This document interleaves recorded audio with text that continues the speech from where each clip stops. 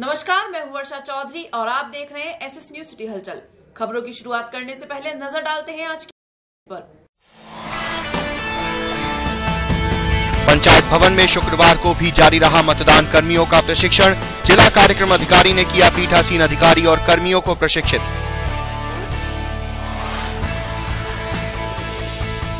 मतदाता जागरूकता को संयुक्त महिला मोर्चा ने निकाली विशाल स्कूटी रैली। मुख्य विकास अधिकारी ने झंडी दिखाकर किया रैली का शुभारंभ।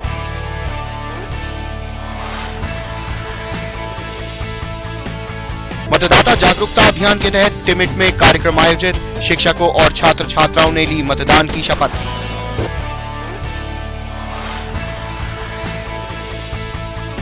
बहुजन समाज पार्टी की मुखिया मायावती पहुँची मुरादाबाद। विशाल जनसभा को संबोधित कर सपा कांग्रेस गठबंधन और भाजपा पर साधा निशाना। जीआईसी ग्राउंड में मीम की विशाल जनसभा आयोजित। मीम के राष्ट्रीय अध्यक्ष असदुद्दीन ओवैसी ने जनता से मांगा साथ।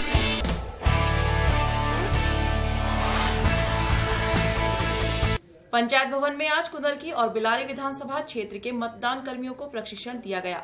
साथ ही मतदान कर्मियों ने अपने मताधिकार का प्रयोग भी किया। मतदान प्रशिक्षण के चौथे दिन बिलारी और कुंदरकी के मतदान कर्मियों को प्रशिक्षण दिया गया। साथ ही मतदान के समय मतदाताओं को आने वाली समस्याओं का भी निराकरण किया गया। मतदान कर्मियों को प्रशिक्षण, जिला कार्यक्रम अधिकारी अनुपमा शांडिले ने दिया। साथ ही उन्होंने ईवीएम मशीनों की विस्तृत जानकारी मतदान कर्मियों को दी। दिखावटी मतदान कम से कम दो अभिकर्ताओं के समक्ष होना चाहिए। आपका प्रश्न है कि अगर नहीं आए तो क्या करें? आपको छह बजे करना है, पंद्रह मिनट इंतज़ार किए जाने की बात कही गई है। फिफ्टीन मिनट तक इंतज़ार करें, अगर कोई अभिकर्ता टर्नअप नहीं होता, हालाँकि राजनीतिक दलों के माध्यम से, पार्टी के लोगों, समाचार पत्रों के माध्यम से उनको पहले से सूचित किया गया है कि वो उस समय रहें। अगर वो नहीं आते तो मतदान अधिकारियों के समक्ष पीठासीन अधिकारी, अपने सेक्टर मजिस्ट्रेट यदि वहाँ पर कोई उपस्थित है स्टेटिक मजिस्ट्रेट या माइक्रो ऑब्जर्वर जो भी रहेंगे, उन्हीं के साथ मोक पोल संपन्न करेंगे प्रश्न का जवाब मिल गया?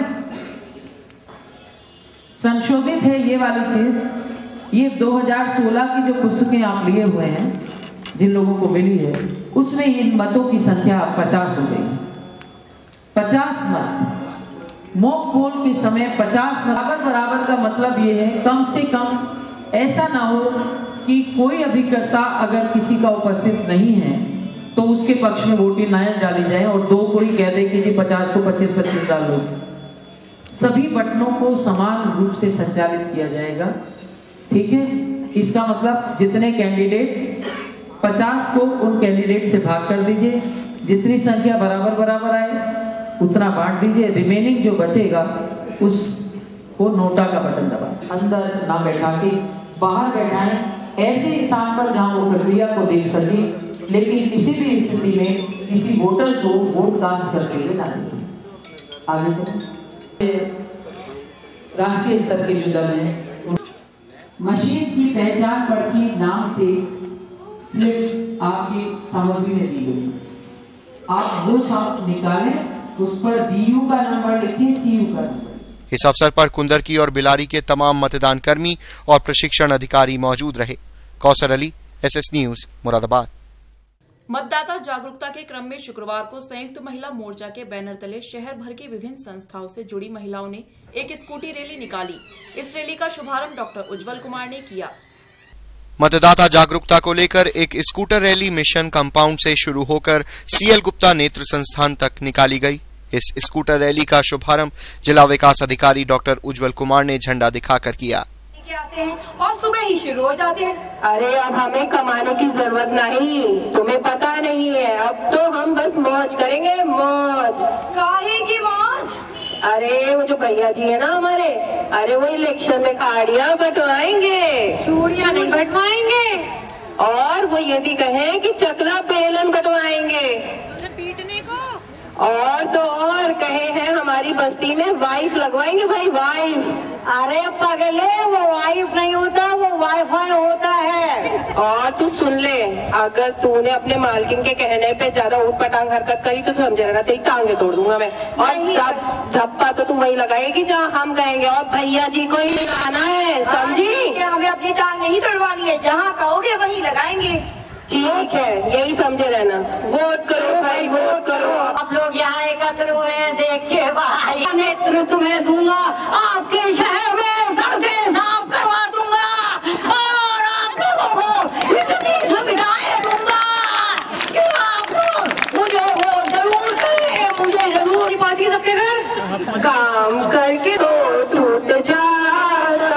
अपने उद्बोधन से सबको संबोधित किया और सबको आग्रह किया है कि हम लोग 100 परसेंट वोटिंग की तरफ़ बढ़ें। हम लोग एथिकल वोटिंग करें मोरल वोटिंग करें और जो कैंडिडेट हमें अच्छे लगते हैं, उनके तरफ़ हम लोग मतदान करें।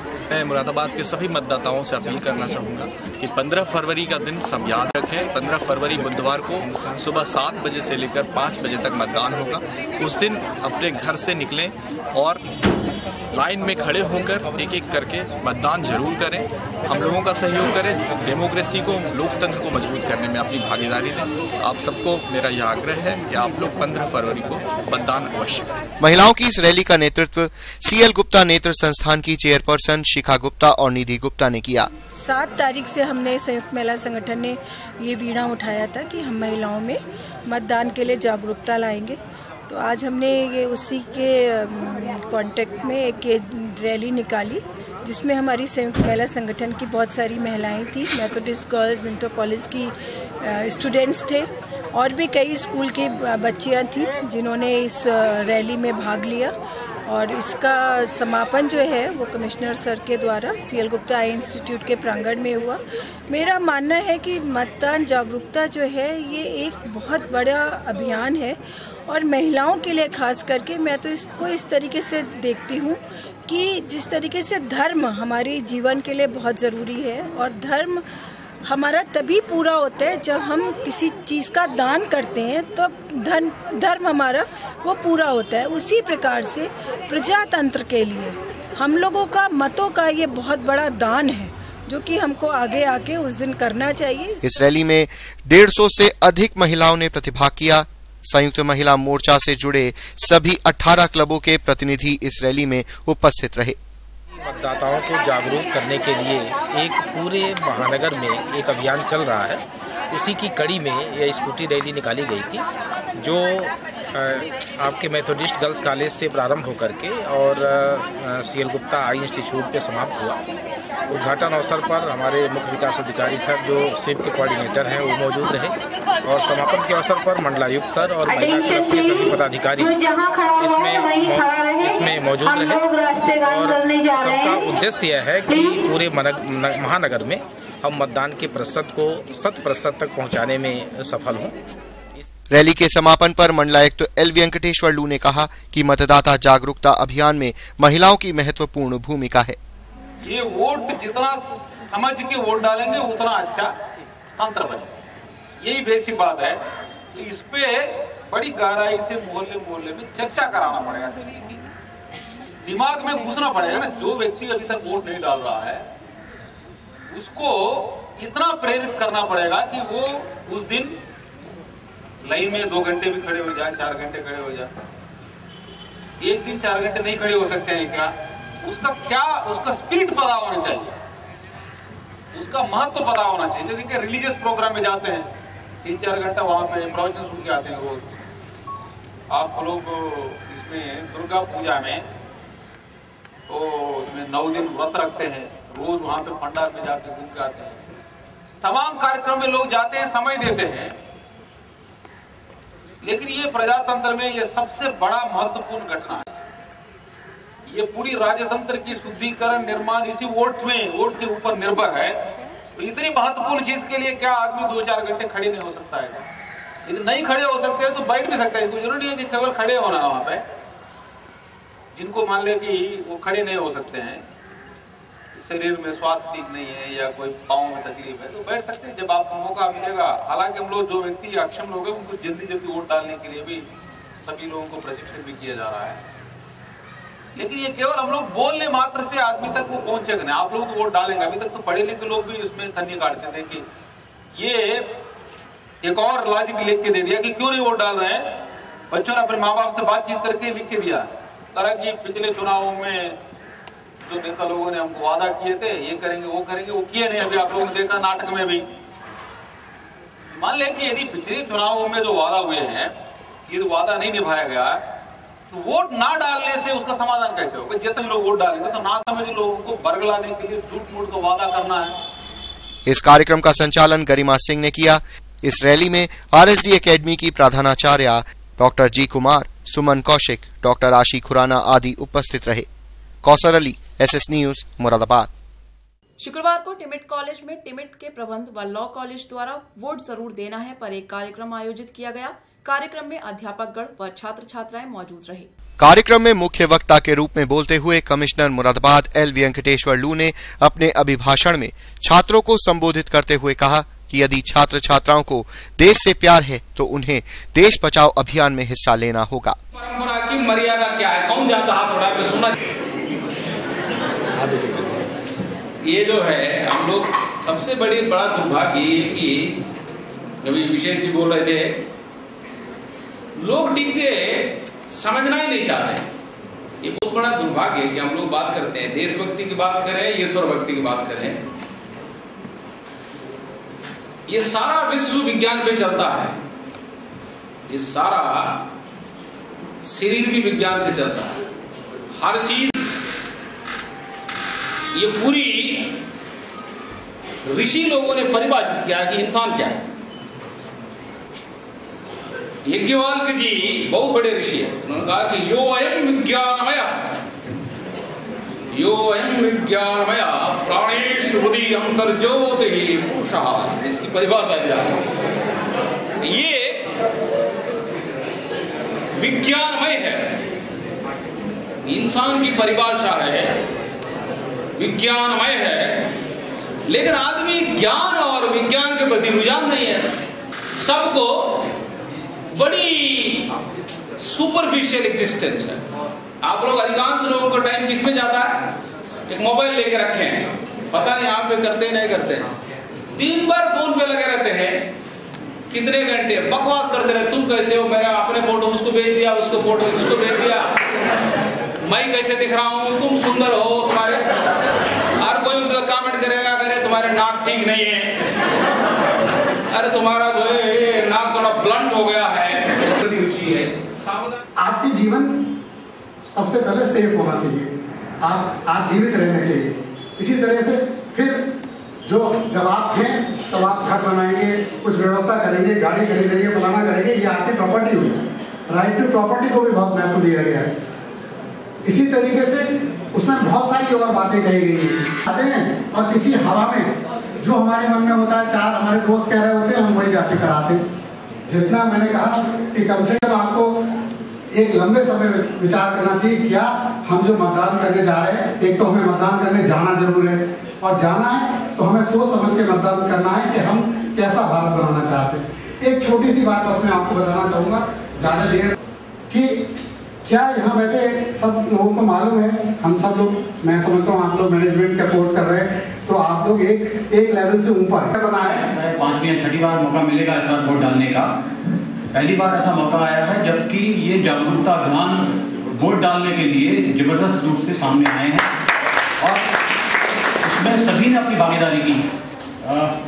जैसा अभी मेरे पूर्ववक्ता ने कहा कि हमारे कमिश्नर साहब ने जगह जगह जाकर इसको जा, इस अभियान को चलाया है।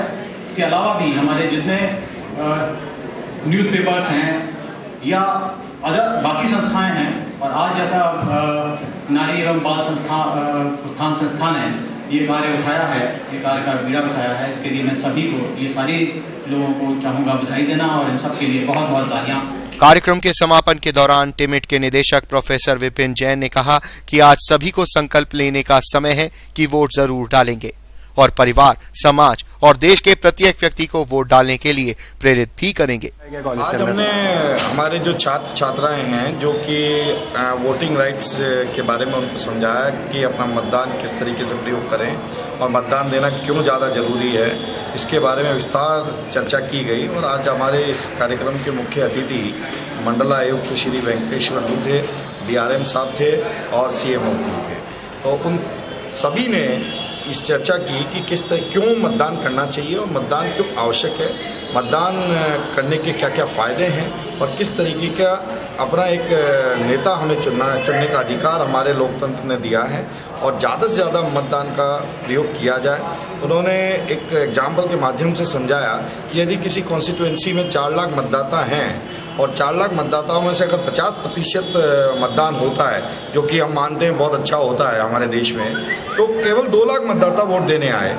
और अगर दो लाख मतदाता वोट देने आ गए, अगर वहाँ चार से ज़्यादा लोग खड़े हैं तो मतदान बढ़ जाता है। और मान लीजिए एक व्यक्ति जो सत्तावन हज़ार वोट पाकर जीत गया चुनाव तो अगर हम देखें सत्तावन हज़ार का वो से वोट से जीता हुआ जो व्यक्ति है, वो केवल 25 प्रतिशत जनता का प्रतिनिधि करता है। तो वो किस तरीके से विकास कर पाएगा, ये एक बहुत ही चिंताजनक विषय है हमारे देश के लोकतांत्रिक के लिए, लोकतांत्रिक स्थिति के लिए। अगर इसको और अच्छा मज़बूत करना है तो हमें ज़्यादा से ज़्यादा मतदान का प्रतिशत बढ़ाना चाहिए। इसी के लिए सभी अतिथियों ने ये निवेदन किया अनुरोध किया हमारे छात्र छात्राओं से कि वे स्वयं तो मतदान डालने जाए जाएँ, साथ में अपने आसपास के पड़ोस में बूथ पर सबको मतदान के लिए प्रेरित करें। सभी पार्टियाँ चुनाव प्रसार के लिए कोई कसर नहीं छोड़ रही हैं, ऐसे में बसपा क्यों पीछे रहे? शुक्रवार को बसपा सुप्रीमो मायावती मुरादाबाद पहुँची और एक विशाल जनसभा को संबोधित किया। उन्होंने सपा कांग्रेस गठबंधन और भाजपा पर जमकर निशाना भी साधा। मायावती आज मुरादाबाद में दिल्ली रोड पर अपने प्रत्याशियों के समर्थन में जनसभा को संबोधित करने आई थी और उन्होंने कहा कि अल्पसंख्यक समुदाय कांग्रेस या सपा के बहकावे में न आए। प्रदेश में सुशासन की सरकार बसपा ही दे सकती है। इसके साथ ही लोगों को अपना एजेंडा बताते हुए आज मायावती ने यह भी कहा कि अब उनकी नई सरकार में कोई नए पार्क, मूर्तियाँ या स्मारक नहीं बनेंगे, क्योंकि ये कार्य पिछली सरकार में ही हो चुके हैं। अब लोक कल्याण कार्यों पर ज़ोर दिया जाएगा। मायावती ने अखिलेश सरकार और बीजेपी के लैपटॉप और डाटा की आलोचना करते हुए इसकी जगह आर्थिक मदद देने की बात कही और कहा, इससे जरूरतमंद अपने हिसाब से अपने लिए सही चीज़ ले सकेगा। वहीं मायावती ने सरकार बनने के बाद सपा के गुंडों को जेल भिजवाने की बात कही है। यही नहीं, अपने चिर परिचित अंदाज से अलग मुरादाबाद में मायावती ने वादों और लोक लुभावन वादों की छड़ी लगाई। मायावती ने कहा कि उनकी सरकार आने पर गरीबों की कल्याण की योजनाएँ शुरू की जाएँगी। गन्ना किसानों का बकाया जल्द दिलाया जाएगा। इसके साथ ही स्कूल में दूध, बिस्कुट, अंडा, चना और पौष्टिक आहार दिया जाएगा। मायावती ने कहा कि बीजेपी आरक्षण खत्म करना चाहती है, इसलिए किसी भी कीमत पर आप लोग बीजेपी को वोट न करें। सपा और भाजपा आपस में मिले हुए हैं। मायावती यही नहीं रुकी। उन्होंने प्रदेश की अखिलेश सरकार को भी नहीं बख्शा। सपा परिवार के हालिया घटनाक्रम पर मायावती ने कहा कि मुलायम सिंह ने पुत्र मोह में शिवपाल को अपमानित करके बाहर किया। शिवपाल खेमा चुनाव में सपा को नुकसान ज़रूर पहुंचाएगा। कांग्रेस और सपा गठबंधन पर मायावती ने कहा कि ये स्वार्थ का गठबंधन है। शुक्रवार को जीआईसी मैदान में मजलिस इत्तेहादुल मुस्लिमीन की एक जनसभा आयोजित की गई, जिसमें मीम के सदर असदुद्दीन ओवैसी ने विरोधी पार्टियों पर निशाना साधा। चुनावी समर के चलते महानगर में नेताओं का जमावड़ा लगा हुआ है। इसी कड़ी में आज जीआईसी मैदान में ऑल इंडिया मजलिस इतिहादुल मुस्लिमीन की एक जनसभा आयोजित की गई जिसमें जनसभा के दौरान देहात मुरादाबाद विधानसभा के प्रत्याशी हाजी असलम अंसारी ने अपने वक्तव्य के दौरान मुस्लिम लीडरशिप कायम करने की बात कही। कि सियासत क्या होती है? इसके बारे में मैं अपनी कौम के लोगों से जानना चाहता हूँ। वहीं मीम के सदर एवं सांसद असदुद्दीन उवैशी ने अपने संबोधन में विरोधी पार्टियों पर तंज कसी लंबा अरसा गुजरने के बाद भी आज भी हमको अपनी जान की फ़िक्र करना पड़ता है। सत्तर साल का लंबा अरसा गुजरने के बाद भी हमको अपने घर की अजमत को बचाने की फ़िक्र करनी पड़ती शुक्रवार को शिवसेना से मुरादाबाद शहर से प्रत्याशी वी के सैनी ने चंद्रनगर में घर घर जाकर जनसंपर्क किया और वोट कर जीत दिलाने की अपील की। विधानसभा चुनाव में लगे सभी प्रत्याशी अपनी पूरी ताकत लगाकर जनता को अपने पक्ष में करने को जुटे हैं। वहीं आज चंद्रनगर में शिवसेना से मुरादाबाद शहर से प्रत्याशी वी के सैनी ने घर घर जाकर जनसंपर्क किया और अपने लिए लोगों का साथ मांगा।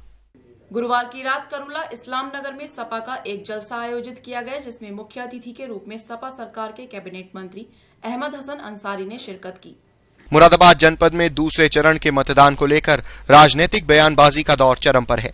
देर रात समाजवादी पार्टी के समर्थन में एक जनसभा को संबोधित करने पहुँचे सपा नेता अहमद हसन ने भाजपा और बसपा पर जमकर निशाना साधा और दोनों पार्टियों को सबसे बड़ा झूठ होने का तमगा दिया। अहमद हसन ने भाजपा पर निशाना साधते हुए कहा कि केंद्र में ऐसी सरकार है जो आने वाले पीढ़ियों के लिए खतरनाक है। मोदी को सबसे बड़ा झूठा प्रधानमंत्री कहते हुए अहमद हसन ने कहा कि भाजपा ने तीन दफ़ा बसपा के साथ सरकार बनाई है और आज भी दोनों की मिली भगत है। अहमद हसन ने आरोप लगाया कि बसपा की पिछली सरकार में बसपा ने किसी भी ज़िले में एक भी मुस्लिम को ना ही जिलाधिकारी बनाया और ना ही पुलिस कप्तान। मायावती को जेल भेजने की धमकी देते हुए अहमद हसन ने कहा कि सपा की अगली सरकार बनते ही मायावती को जेल भेजा जाएगा। जो माहौल है, समाजवादी पार्टी की आधी चल रही है। और आवाम, जनता, हम लोगों के साथ पूरी तौर से खड़ी है। समाजवादी पार्टी को अकेले भी बहुमत मिल रहा था, मिलेगा, लेकिन कांग्रेस के गठबंधन के साथ हम लोग 300 से ज़्यादा सीटों पाएँगे और एक बहुत मज़बूत और उत्तर प्रदेश में अच्छी सरकार बनेगी, क्योंकि ऊपर खुदा की मेहरबानी से और जनता के वोटों से हम लोग एक बहुत मज़बूत चूँकि सरकार ने पूरे वादे किए हैं। जितने वादे किए थे, उनको लागू किया है और बड़ा विश्वास था, इसलिए आज जनता हमारे साथ पूरे तौर से है। मुलायम सिंह, प्रचार करेंगे? नेताजी प्रचार करेंगे? नेताजी प्रचार करेंगे। करेंगे। करेंगे। शुक्रवार को करुला में सर सैयद वेलफेयर सोसाइटी द्वारा मतदाता जागरूकता रैली निकाली गई जिसमें लोगों को अधिक संख्या में मत का प्रयोग करने के लिए जागरूक किया गया। जिला प्रशासन के साथ साथ निजी संस्थाएँ भी लोगों को बढ़ चढ़कर मतदान करने के लिए प्रयासरत हैं। इसी के मद्देनजर आज करुला स्थित रहमत नगर पीर का बाज़ार दस सराय में राष्ट्रीय जागरूकता रैली निकाली गई। रैली के दौरान लोगों से अधिक संख्या में वोट डालने की अपील की गई।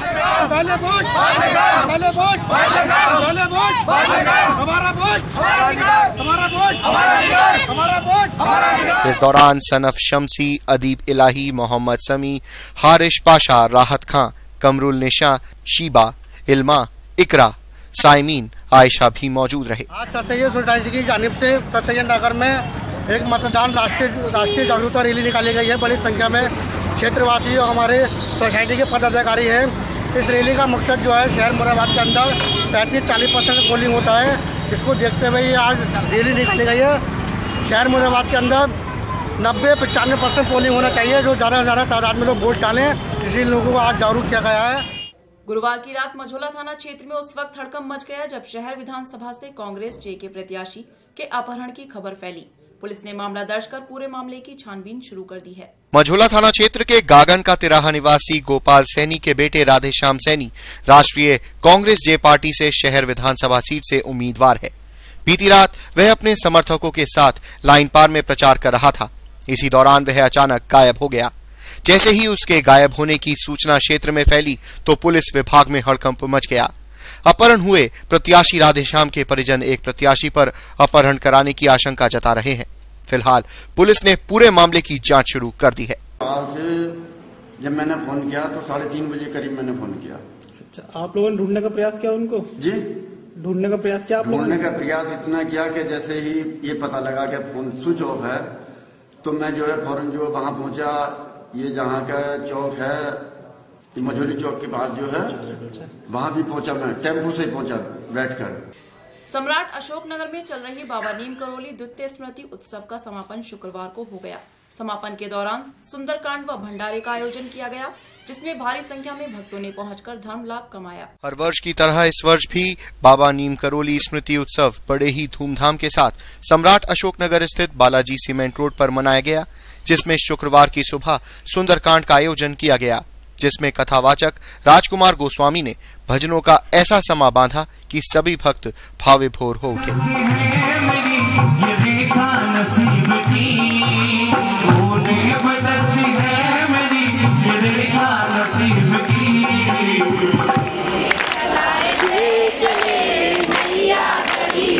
सुंदरकांड के समापन के बाद विशाल भंडारे का भी आयोजन किया गया, जिसमें भक्तों और स्थानीय लोगों ने बाबा का प्रसाद ग्रहण किया और धर्म लाभ कमाया। प्रातः आठ बजे से सुंदरकांड का शुभारंभ हुआ। सुंदरकांड के बाद भजन कीर्तन वगैरह हुए। भजन कीर्तन के बाद होने के बाद हमारा बाबा का भोग लगा के भंडारा शुरू किया महाब्रह्म भोज शुरू हो गया। बाबा नीम बाबा की कृपा से सब और बालाजी महाराज की कृपा से बहुत बढ़िया संपन्न सब कार्य हुए। आज के बुलेटिन में बस इतना ही। कल फिर हाजिर होंगे और खबरों के साथ। नमस्कार। पंचायत भवन में शुक्रवार को भी जारी रहा मतदान कर्मियों का प्रशिक्षण। जिला कार्यक्रम अधिकारी ने किया पीठासीन अधिकारी और कर्मियों को प्रशिक्षित।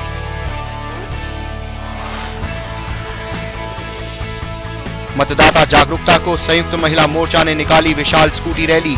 मुख्य विकास अधिकारी ने झंडी दिखाकर किया रैली का शुभारंभ।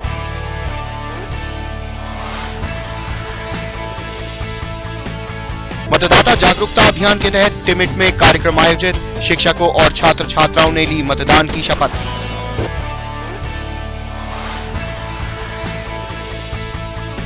बहुजन समाज पार्टी की मुखिया मायावती पहुँची मुरादाबाद। विशाल जनसभा को संबोधित कर सपा कांग्रेस गठबंधन और भाजपा पर साधा निशाना। जीआईसी ग्राउंड में मीम की विशाल जनसभा आयोजित। मीम के राष्ट्रीय अध्यक्ष असदुद्दीन ओवैसी ने जनता से मांगा साथ।